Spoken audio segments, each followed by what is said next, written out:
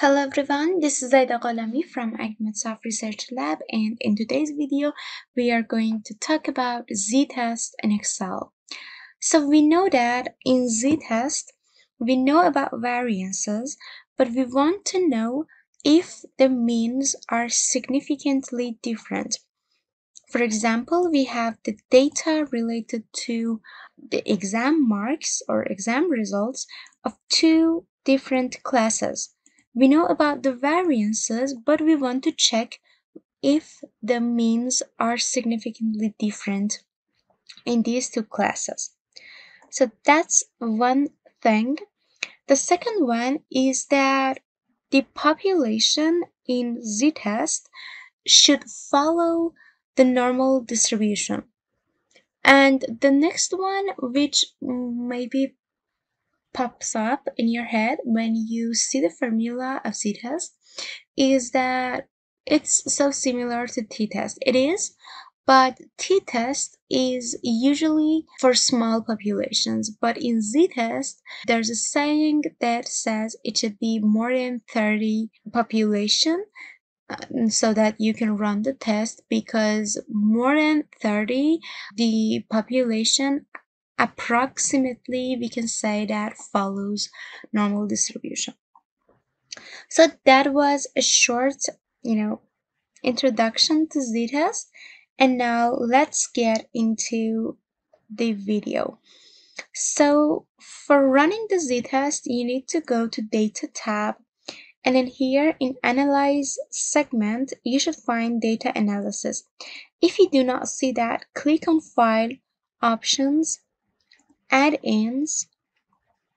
And then in manage excel add-ins click on go and check analysis toolpak after you select ok you can see data analysis in analyze segment in data tab. So i click on that and then you can see the list of all the tests you can run using data analysis. I want to go to z-test two sample for means. That's the the final option. I click OK, variable one range. So I get the number one class. Then I go for variable two range. I go for next one. And then hypothesize uh, mean difference. So in here, if your null hypothesis is that the means are equal, you can enter 0. But if your hypothesis is that they, they are not equal, you can enter the difference. Okay, so I want to hypothesize that it's they are equal. You can also leave it empty. Okay, so you do not have to enter number variable one variance. So in here we should before this window we should calculate the variances for for first and second class. So I close that for now. And we should have variance of sample for class A and then also for class B. Okay, so then I again go for z-test. Variable 1 is my first class. Variable 2 is the second one. And the difference I set is 0, my null hypothesis. Variable 1 variance is 23.10. Variable 2, 18.45. Uh, I check the labels because my first row is the labels.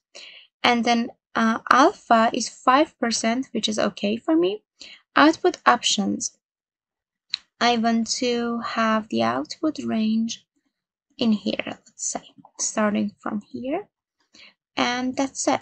I click OK. And then the test is run. Is run. Okay, so Z has two sample for means. The mean for class A and class B is calculated, known variances are shown here, and the number of observations. Then the hypothesized mean difference which I entered as zero. So it was the null hypothesis. So then the z-score is calculated. Okay, and then the p-value for one tail, if you assume the test to be one-tailed, you can see the p-value. So you can you can compare this p-value to 5%. You can see it's smaller than 5%, so you can reject the null hypothesis. Then you can see Z critical for one tail and also p-value for two tail. So that's 7% and you can compare that with 2.5%. Okay, so you can see that in here 7% is bigger than 2.5%. So in here, you cannot reject the null hypothesis for two-tail test. Okay, so that was it for uh, z-test and for running z-test in Excel. I hope you learned something new in today's video. I will see you in the next videos and don't forget to like and share and subscribe to the uh, channel. I will see you in the next video and bye.